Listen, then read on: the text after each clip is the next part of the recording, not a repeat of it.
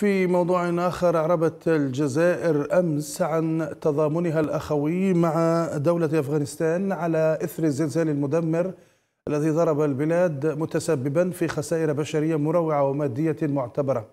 وتقدمت الجزائر في بيان نشرته وزارة الشؤون الخارجية بتعازيها الخالصة لعائلات الضحايا وتمنياتها بالشفاء العاجل للمصابين كما أعربت عن ثقتها في قدرة الشعب الأفغاني الشقيق على تجاوز هذه الفاجعة الأليمة في ظل التضامن والدعم الضروريين من المجتمع الدولي.